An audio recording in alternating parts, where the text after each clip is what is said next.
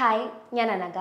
Consultant psychologist absolute mind Calicut ഞാൻ ഇന്ന് ചർച്ച ചെയ്യാൻ പോകുന്ന വിഷയം കുട്ടികളിലും മുതിർന്നവരിലും വളരെ സാധാരണയായിട്ട് കണ്ടുവരുന്ന ആൻസൈറ്റി ഡിസോർഡർ അഥവാ ഉത്കണ്ഠ രോഗത്തെക്കുറിച്ചാണ്. നമുക്ക് എല്ലാവർക്കും തന്നെ ഉത്കണ്ഠ അനുഭവപ്പെടാറുണ്ട്. ഒരു എക്സാം അറ്റൻഡ് ചെയ്യുന്ന സമയത്തോ അല്ലെങ്കിൽ കുടുംബത്തിൽ എന്തെങ്കിലും പ്രശ്നങ്ങൾ ഉണ്ടാവുന്ന സമയത്തൊക്കെ. ഒരു പരിധിവരെ ഇത് ആവശ്യമാണ്. നാളെ എക്സാം ആണ്. എക്സാമിന് നല്ല മാർക്ക് വാങ്ങിയിട്ടില്ല എന്നുണ്ടെങ്കിൽ തുടർന്ന് പഠിക്കാൻ വേണ്ടിയിട്ട് കഴിയില്ല എന്നുള്ള ചിന്ത ഇല്ലാത്ത ഒരാളാണെന്നുണ്ടെങ്കിൽ എക്സാമിന്റെ തലേന്ന് പോലും പഠിക്കാണ്ട് പിറ്റേന്ന് പോയിട്ട് എക്സാം എഴുതും. എന്നാൽ ഈ ചിന്ത കൂടിക്കഴിഞ്ഞാലോ? അതും പ്രശ്നമാണ്. നാളത്തെ എക്സാമിന് ഞാൻ പാസ്സാവോ? എനിക്ക് കൃത്യസമയത്തിനുള്ളിൽ എല്ലാം പഠിച്ചു തീർക്കാൻ പറ്റുമോ അല്ലെങ്കിൽ എല്ലാം എനിക്ക് ഓർമ്മ ഉണ്ടാവോ? എന്നൊക്കെയുള്ള അനാവശ്യ ചിന്തയുള്ള ഒരു വ്യക്തിയാണെന്നുണ്ടെങ്കിൽ എക്സാം ഹോളിൽ പോയിട്ട് ബ്ലാങ്ക് ആയി പോവുകയും കൃത്യമായിട്ട് ആൻസേഴ്സ് ഒന്നും എഴുതാൻ പറ്റാണ്ടെയും ഒക്കെയുള്ള അവസ്ഥ വരാം.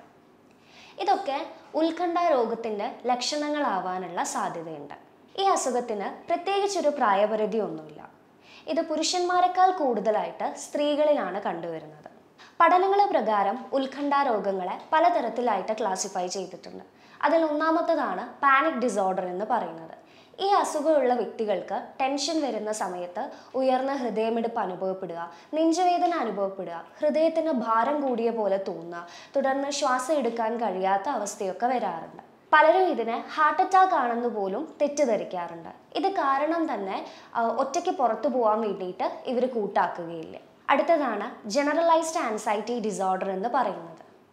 ഈ അസുഖമുള്ള വ്യക്തികൾക്ക് എന്തിനും ഏതിനും അനാവശ്യമായിട്ടുള്ള ടെൻഷനായിരിക്കും അവർ എല്ലാ കാര്യത്തിനെയും ഒരു ടെൻഷനോട് കൂടിയായിരിക്കും അഭിമുഖീകരിക്കുന്നുണ്ടാവുക. കൂടാതെ ഈ അസുഖമുള്ള ആളുകളിൽ ഭാവിയെക്കുറിച്ചുള്ള അനാവശ്യമായിട്ടുള്ള ടെൻഷൻ ഉയർന്ന ഹൃദയമിടിപ്പ് രക്തസമ്മർദ്ദം വയറിലെ അസ്വസ്ഥതകൾ തലചുറ്റൽ ഛർദി എന്നിങ്ങനെയുള്ള ലക്ഷണങ്ങളും കണ്ടുവരുന്നുണ്ട്.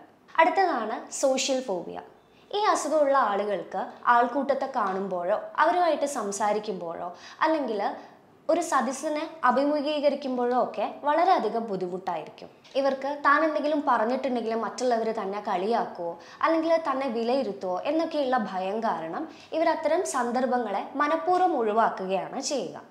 അടുത്തതാണ് സ്പെസിഫിക് ഫോബിയ എന്നുള്ളത്. ഈ അസുഖമുള്ള വ്യക്തികൾക്ക് ചില പ്രത്യേക സന്ദർഭങ്ങളോട് അമിതമായിട്ടുള്ള ഭയം ഉണ്ടാവും.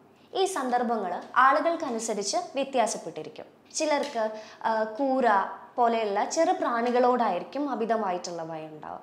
എന്നാൽ മറ്റു ചിലർക്ക് ഉയരമുള്ള സ്ഥലങ്ങളോട് വെള്ളം കെട്ടി നിൽക്കുന്ന സ്ഥലങ്ങളോട് ഇടുങ്ങിയ സ്ഥലങ്ങളോട് ഒക്കെ ആയിരിക്കും പേടി ഉണ്ടാവുക. എന്നാൽ മറ്റു ചിലർക്ക് ബ്ലഡ് കണ്ടാൽ അല്ലെങ്കിൽ ഇഞ്ചക്ഷൻ കണ്ടിട്ടുണ്ടെങ്കിൽ അങ്ങനെയൊക്കെ ആയിരിക്കും പേടി ഉണ്ടാവുക. അടുത്തതാണ് ഒബ്സസീവ് കമ്പൽസീവ് ഡിസോർഡർ അഥവാ ഒ എന്ന് പറയുന്നത്.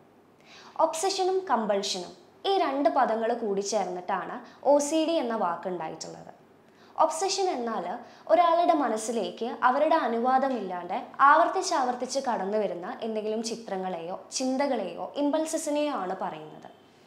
ഇത്തരം ചിന്തകൾ കാരണം ആളുകൾ കാട്ടിക്കൂട്ടുന്ന അല്ലെങ്കിൽ ചെയ്തു കൂട്ടുന്ന പ്രവൃത്തികളെയാണ് കമ്പൾഷൻസ് എന്ന് പറയുന്നത്. ഉദാഹരണത്തിന് താൻ ഡോറ് ലോക്ക് ചെയ്തിട്ടില്ലേ എന്നുള്ള ചിന്ത വരുന്ന ഒരാളാണെന്നുണ്ടെങ്കിൽ എപ്പോഴും പോയിട്ട് ഡോറ് ചെക്ക് ചെയ്തുകൊണ്ടേയിരിക്കും. അല്ലെങ്കിൽ ഗ്യാസ് അടിച്ചിരുന്നോ എന്ന് ചിന്ത വന്നിട്ടുണ്ടെങ്കിൽ എപ്പോഴും എപ്പോഴും പോയിട്ട് ഗ്യാസ് ചെക്ക് ചെയ്തുകൊണ്ടേയിരിക്കും. അടുത്തതാണ് സെപ്പറേഷൻ ആൻസൈറ്റി ഡിസോർഡർ എന്ന് പറയുന്നത്. ഈ അസുഖമുള്ള വ്യക്തികൾക്ക് തന്നോട് ക്ലോസ് ആയിട്ടുള്ള ആൾക്കാർ തന്നെ വിട്ടു പിരിഞ്ഞു പോവോ അല്ലെങ്കിൽ താൻ അവരിൽ നിന്ന് അകന്നു പോവോ താൻ ഒറ്റയ്ക്കായി പോവോ എന്നൊക്കെയുള്ള ചിന്ത കാരണം അമിതമായിട്ടുള്ള ഒരു ടെൻഷൻ അനുഭവപ്പെടാറുണ്ട്. അടുത്തതാണ് പോസ്റ്റ് ട്രോമാറ്റിക് സ്ട്രെസ് ഡിസോർഡർ അഥവാ പി ടി എസ് ഡി എന്ന് പറയുന്നത്. എന്തെങ്കിലും ഭയപ്പെടുത്തുന്ന സംഭവങ്ങളെ നേരിട്ട് കാണുകയോ അല്ലെങ്കിൽ സ്വയം അനുഭവിക്കുകയോ ചെയ്യുന്നതിന്റെ ഭാഗമായിട്ട് ഈ കൂട്ടർക്ക് സാധാരണ ജീവിതത്തിലേക്ക് തിരിച്ചു വരാൻ വേണ്ടിയിട്ട് ബുദ്ധിമുട്ടായിരിക്കും. ഇവർക്ക് എപ്പോഴും തന്നെ ആ സംഭവങ്ങളുടെ ഫ്ലാഷ് ബാക്ക് ആയിട്ട് ഓർമ്മ വരികയോ അല്ലെങ്കിൽ പേടിപ്പിക്കുന്ന സ്വപ്നങ്ങളായിട്ട് ആ സന്ദർഭങ്ങളെ എപ്പോഴും കടന്നു വന്നുകൊണ്ടേയിരിക്കും. ഇത് കാരണം തന്നെ അവർക്ക് അവരുടെ ജോലിയിലോ പഠനത്തിലോ അല്ലെങ്കിൽ കുടുംബ ജീവിതത്തിലോ സാമൂഹിക ബന്ധങ്ങളിലോ ഒന്നും തന്നെ ശ്രദ്ധ കേന്ദ്രീകരിക്കാൻ വേണ്ടിയിട്ട് കഴിയില്ല. അടുത്തതാണ് സബ്സ്റ്റൻസ് ഇൻഡ്യൂസ്ഡ് ആൻസൈറ്റി ഡിസോർഡർ എന്ന് പറയുന്നത്.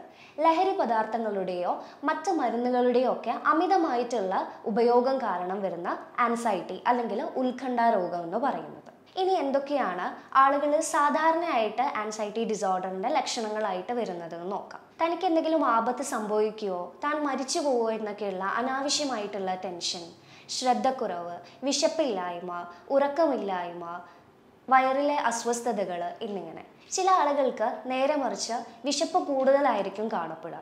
എന്നാൽ ചിലരിൽ ഭക്ഷണം കഴിക്കാൻ തന്നെ തോന്നില്ല അല്ലെങ്കിൽ ഭക്ഷണം കഴിക്കുന്ന സമയത്ത് തീരെ ഒരു സന്തോഷമൊന്നും അനുഭവപ്പെടാറില്ല. ചില ആളുകൾക്ക് ടെൻഷൻ വന്നിട്ടുണ്ടെങ്കിൽ സന്ദർഭങ്ങളെ തീരെ കൺട്രോൾ ചെയ്യാൻ വേണ്ടിയിട്ട് കഴിയാത്ത പോലെയുള്ള അവസ്ഥ വരിക. ശരീരവും മനസ്സും വേറിട്ട് നിൽക്കുന്ന ഒരു ഫീലിംഗ് വരിക എന്നിങ്ങനെയുള്ള ലക്ഷണങ്ങളും കാണിക്കാറുണ്ട്.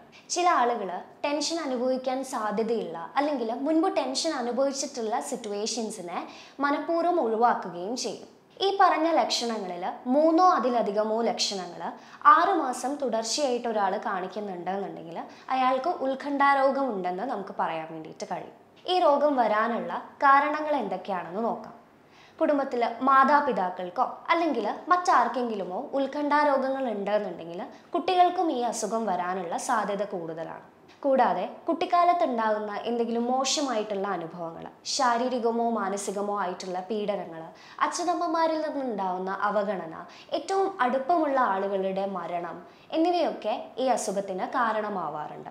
കൂടാതെ കൂട്ടുകാരിൽ നിന്നുള്ള പരിഹാസം ഭയപ്പെടുത്തുന്ന സന്ദർഭങ്ങളെ നേരിട്ട് അനുഭവിക്കുകയോ അല്ലെങ്കിൽ കാണുകയോ ചെയ്യുന്നതൊക്കെ ഈ അസുഖത്തിലേക്ക് നയിക്കാവുന്നതാണ്. കൂടാതെ നമ്മളുടെ തലച്ചോറിലെ രാസവസ്തുക്കളുടെ അളവുകളിൽ ഉണ്ടാകുന്ന മാറ്റങ്ങൾ ലഹരി പദാർത്ഥങ്ങളുടെ അമിതമായിട്ടുള്ള ഉപയോഗവും ഉപയോഗമൊക്കെ ഈ അസുഖത്തിന് കാരണമാകാറുണ്ട്. ഇത്തരം ലക്ഷണങ്ങൾ കാണുന്നുണ്ട് എന്നുണ്ടെങ്കിൽ കൂടുതലായിട്ട് വെച്ച് താമസിപ്പിക്കാണ്ട് ഒരു മെന്റൽ ഹെൽത്ത് പ്രൊഫഷണൽ അതായത് സൈക്കോളജിസ്റ്റിന്റെ അടുത്തോ അല്ലെങ്കിൽ ഒരു ക്ലിനിക്കൽ സൈക്കോളജിസ്റ്റിന്റെ അടുത്തോ പോയിട്ട് വേഗം തന്നെ അതിനുള്ള ട്രീറ്റ്മെന്റ് സ്റ്റാർട്ട് ചെയ്യുന്നതാണ് നല്ലത്. മറ്റൊരു ടോപ്പിക്കുമായി നമുക്ക് വീണ്ടും കാണാം. താങ്ക്